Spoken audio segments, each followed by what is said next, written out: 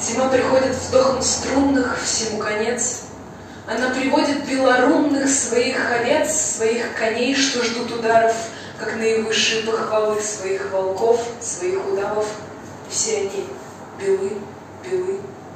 Есть в осени позднеконечный в ее кострах какой-то гибельный, предвечный, сосущий страх, когда душа от неуюта, а твое бездны за стеной дрожит, как утлая каюта или теремок берестяной. Все мнится, и я спасибо.